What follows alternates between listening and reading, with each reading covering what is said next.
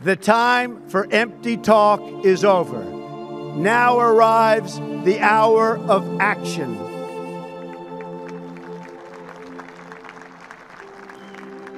Do not allow anyone to tell you that it cannot be done. No challenge can match the heart and fight and spirit of America.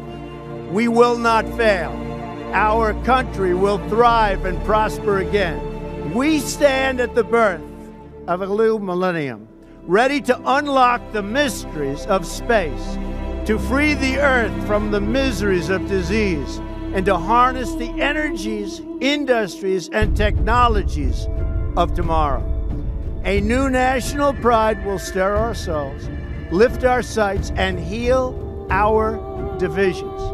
It's time to remember that old wisdom our soldiers will never forget that whether we are black or brown or white, we all bleed the same red blood of patriots.